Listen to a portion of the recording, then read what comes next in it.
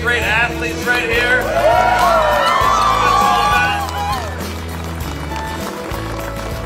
I just want to thank uh, the entire team at Special Olympics, all the volunteers, everybody who works so hard all year round, particularly for this event, where this year they're going to break their goal and raise $3 million.